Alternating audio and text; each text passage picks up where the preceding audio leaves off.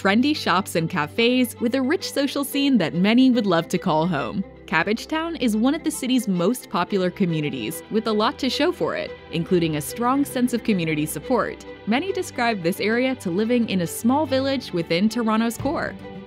With a population of 13,000, Cabbagetown is a quaint yet bustling area, with borders ranging from Rosedale Valley in the north to Sherbourne Street in the west, while bordering the Regent Park community on the southeast.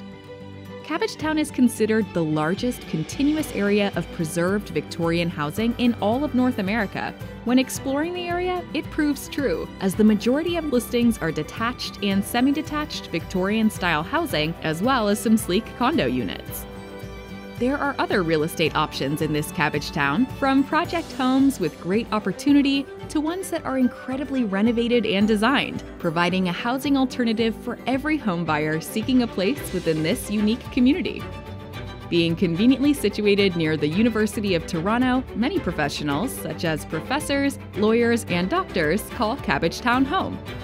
In terms of exploring the local fun, you will find a plethora of brunch spots with delicious mimosas, vintage boutiques, unique dinner spots, as well as specialty antique stores.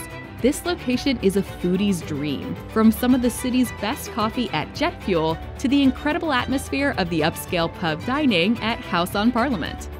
From its incredible amount of activities and shopping to the unique and charming housing, Cabbagetown is one of the city's most brag-worthy communities. In order to understand it, you must come see it for yourself.